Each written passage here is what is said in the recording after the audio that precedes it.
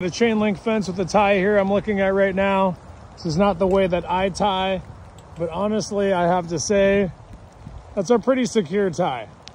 It's wrapped on both links underneath the knuckle, over the top, and it's a 100% 50-50 sag point on each side, so it won't want to raise, lift, or lower. I do have to admit, that's pretty decent. I myself do not tie fences like that, but if I had to try a different way, out of all the weird ways they tied this fence, that might be the one that I would choose.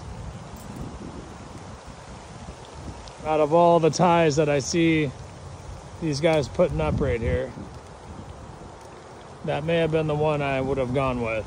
These are all a little weird. This is a home built fence, so nothing is going to look right on it. But anyway, it's a pretty interesting tie.